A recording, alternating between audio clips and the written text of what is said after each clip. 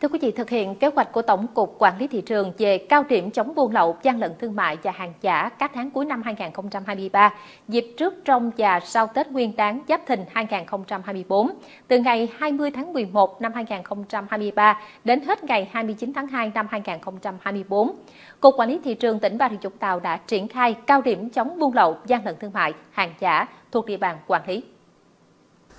Theo kế hoạch, Cục Quản lý Thị trường tỉnh sẽ tăng cường kiểm tra, xử lý các tổ chức cá nhân lợi dụng nhu cầu tiêu dùng tăng cao vào dịp lễ Tết để tăng giá bất hợp lý, gây bất ổn thị trường, nhất là đối với các mặt hàng được tiêu dùng thiết yếu. Phối hợp với các lực lượng chức năng kiểm tra, kiểm soát thường xuyên tại các kho bãi, điểm tập kết hàng hóa, các trung tâm thương mại, siêu thị, kho chứa hàng đông lạnh, các đơn vị nhập khẩu kinh doanh hàng thực phẩm đông lạnh, các cơ sở kinh doanh thực phẩm, làng nghề, các tuyến đường bộ, đường thủy,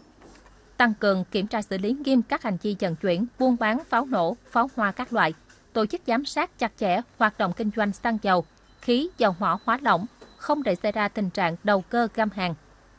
10 tháng năm 2023, lực lượng quản lý thị trường trên địa bàn tỉnh đã tiến hành kiểm tra, phối hợp kiểm tra gần 987 vụ việc. Qua đó phát hiện 548 vụ vi phạm, với tổng số tiền xử lý vi phạm hành chính hơn 8 tỷ 062 triệu đồng, tăng gần 22% so với cùng kỳ năm ngoái. Thu nộp ngân sách nhà nước hơn 5 tỷ 753 triệu đồng. Trị giá tài sản và tan vật phương tiện vi phạm hành chính bị tịch thu đã tiêu hủy trị giá hơn 2 tỷ 831 triệu đồng.